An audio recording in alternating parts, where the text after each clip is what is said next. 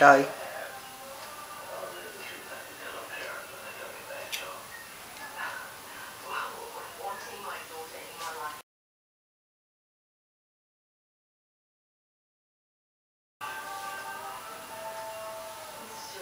Thank you. I appreciate everything that you've done for me.